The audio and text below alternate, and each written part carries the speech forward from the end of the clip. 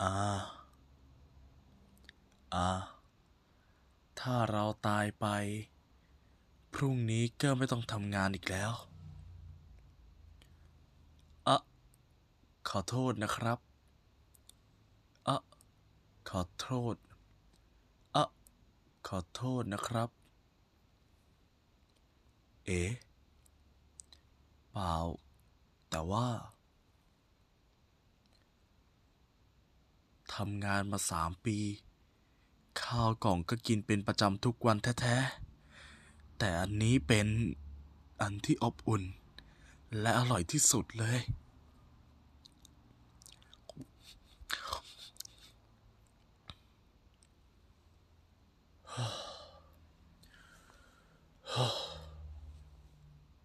อืม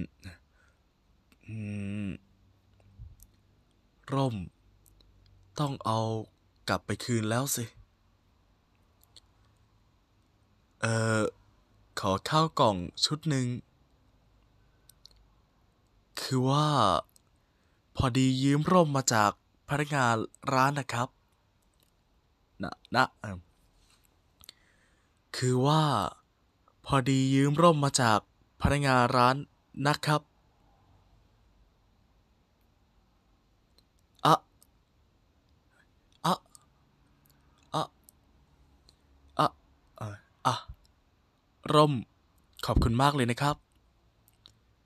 แต่ว่ามัน ครับ งั้นขอรับไว้เลยนะครับ งั้นขอรับไว้เลยนะครับ ครับ อร่อยมากเลย ฟังดูอาจจะพูดเกินไปหน่อย ผมถูกข้าวกล่อง ร้านนี้ช่วยชีวิตเอาไว้ ผมถูกข้าวกล่อง ร้านนี้ช่วยชีวิตเอาไว้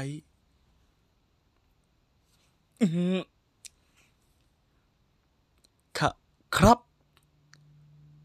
ครับ ครับ ชื่อซึกิโนะครับ เอ๋